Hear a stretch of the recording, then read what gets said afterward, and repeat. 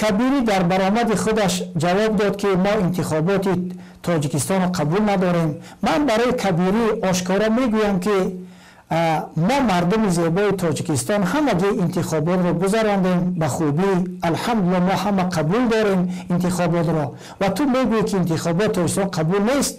این مقصد خودی تو هست.